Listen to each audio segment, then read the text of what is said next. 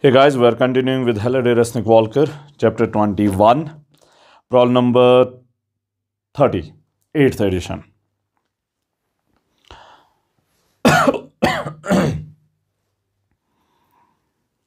Figure A show charged particles 1 and 2 that are fixed in place on an x-axis. Particle 1 has a charge uh, uh, with a magnitude of 8e. Particle 3 is plus 8e is initially on x-axis near particle 2. So particle 3. Particle 3 of charge q3 is equal to plus 8e is initially on x-axis near particle 2. then particle 3 is gradually moved in the positive direction of x-axis. As a result, the magnitude of the net electrostatic force on particle 2 due to particles 1 and 3 change changes. Figure 3 gives the x component of that net force as a function of position x of particle 3. The scale of x-axis is set by xs is equal to 0.8 meters. The plot has an asymptote of uh, uh, 1.5 into 10 to the power minus 25 newtons as x tends to inf infinity. As a multiple of e and including the sign, what is the charge q q2 of particle q of particle 2? So, uh, we are given three particles. Particle 1 is fixed, particle 2 is fixed, particle 3 is initially very close to 2 and then moved along x-axis away from particle 2.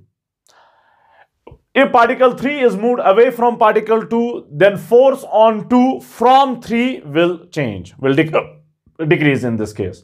Well, if uh, force on 2 changes from 3, then net force on particle 2 will also ch change. Now that net force, how does that vary with uh, changing by changing position of uh, particle 3, which is represented by x, x is given by this graph, okay, is given by this graph. Now, uh, so uh, magnitude of charge q1 is given, but we don't know if it's positive or negative. q3 is positive, that is given. You can see q1 and q3 are having same magnitudes, 8e and 8e. The x-axis is set by this xs, the scale is set by xs, 0.8 uh, meters. So this is here 0.8 meters. So uh, we have four divisions up to 0.8. So each division is 0.2. 0.2, 0.4, then 0.6 and then 0.8. As x tends to infinity, now this is important bit of information. As x tends to infinity means particle 3 is at infinity. If particle 3 is at infinity, it won't exert any force on particle 2 because if distance is infinity, force is 0. Then force on particle 2 will be only because of 1.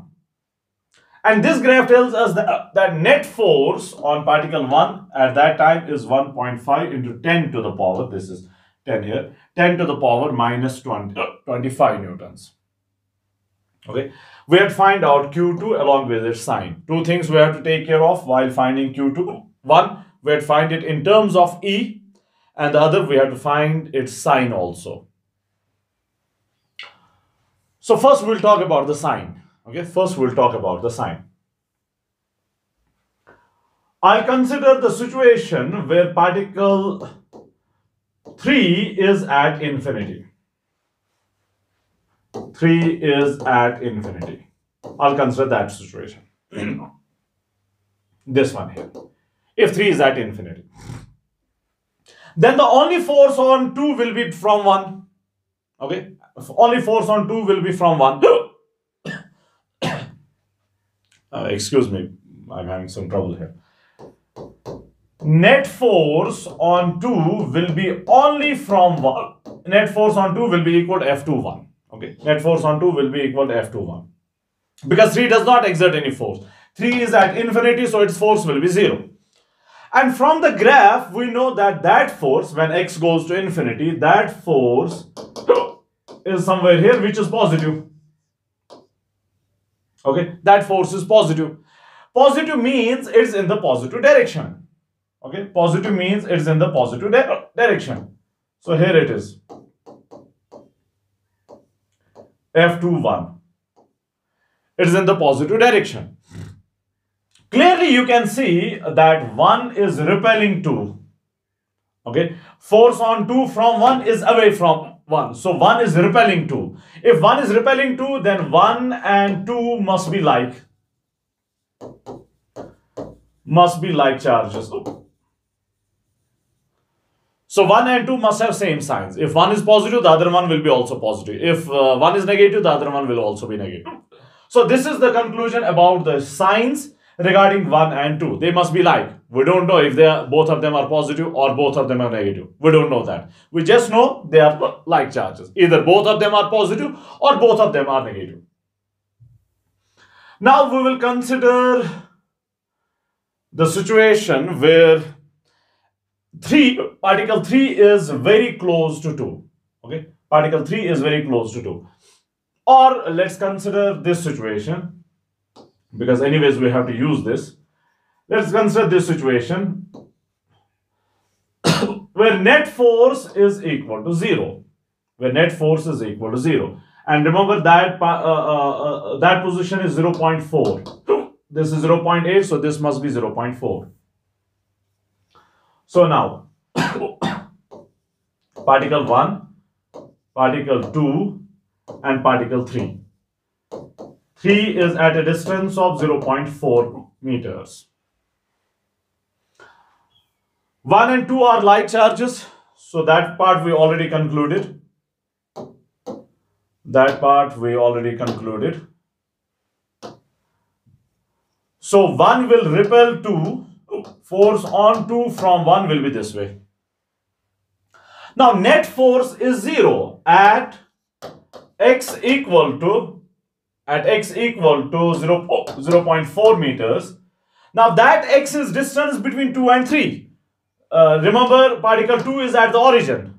So whatever is the position of particle 3 that is the distance between particle, particle 2 and 3. So this is R2 3 basically.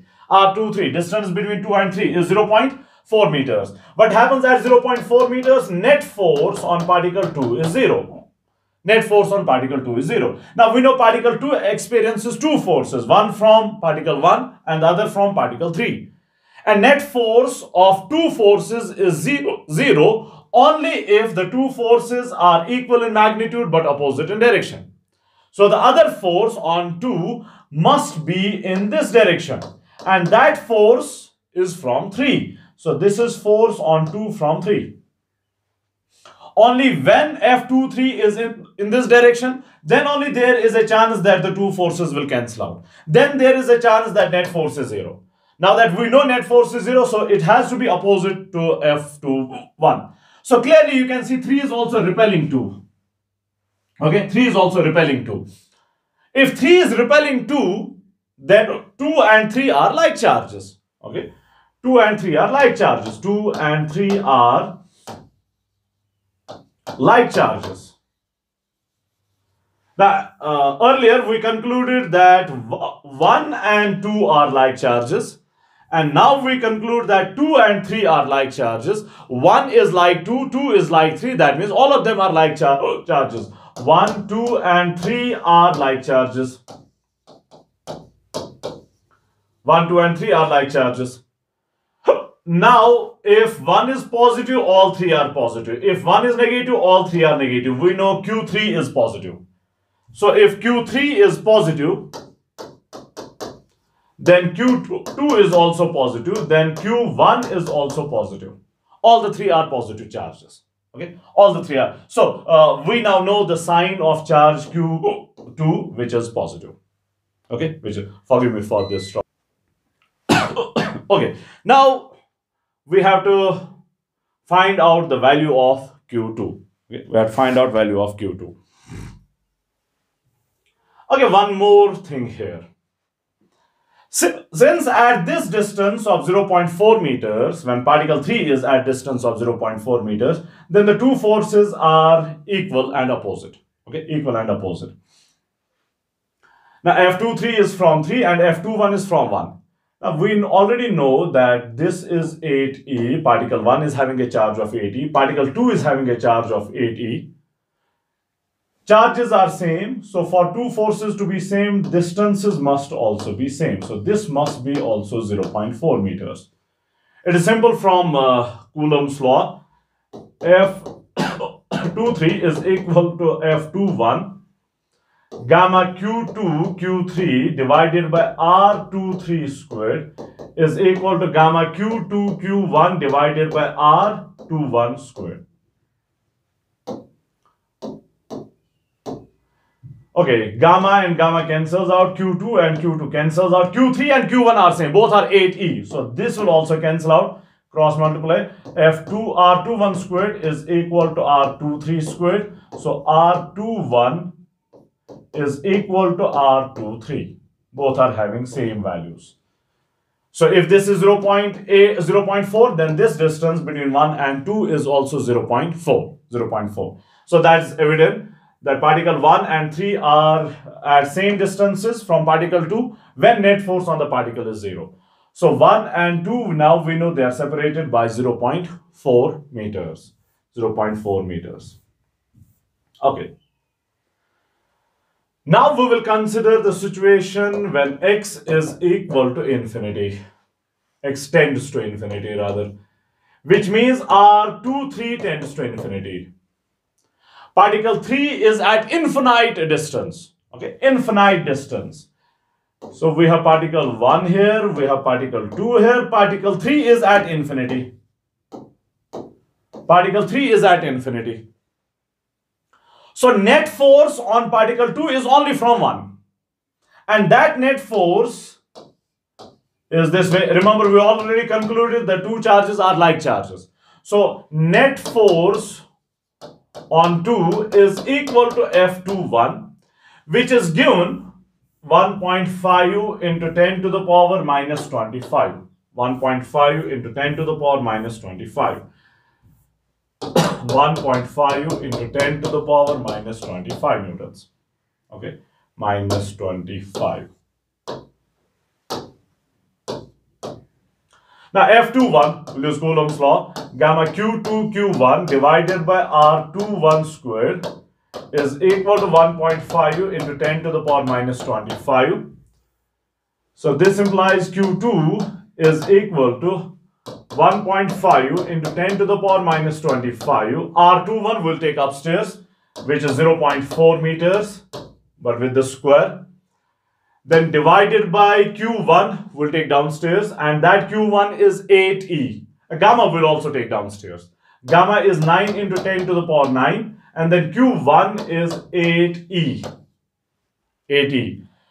Remember, we have to find out Q2 in terms of E in terms of E. So I'll multiply by E and divide by E. So in the denominator, we'll have E square, okay, E into E. So let's uh, substitute the values of E. So Q2 is equal to 1.5 into 10 to the power into 10 to the power minus 25 into 0.4 squared. This E, we leave uh, it like that. We have 9 into 10 to the power 9 into 8. E into E is E squared, which is 1.6 into 10 to the power minus 19 squared. And this E is as it is. Okay. Now, you have to work out this thing.